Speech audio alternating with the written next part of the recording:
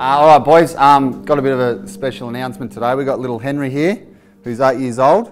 So Henry was diagnosed with cancer when he was seven, uh, leukemia. Did you have a special request when you're seven to become a port member? Is that right? Yep. Yeah, yeah. And now you're at the club, addressing the boys. That's pretty exciting, isn't it? Loves his footy. All all big power fans. Um, and a special announcement today that Henry will be captain for the day against GWS. Yeah.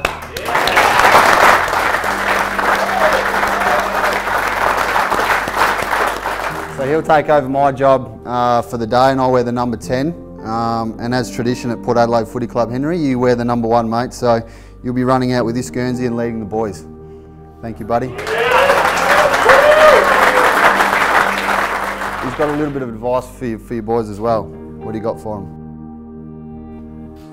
Kick goals. Yeah. And then show the boys how it's done. Little rev up speech, we've got to kick goals, not points, don't we?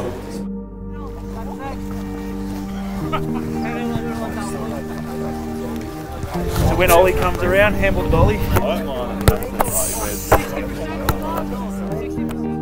Wingard. Chatty. He's one of my favourites too.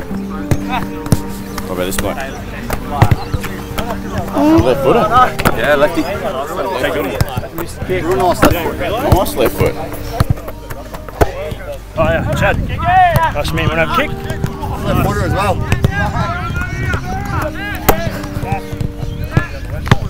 Beautiful.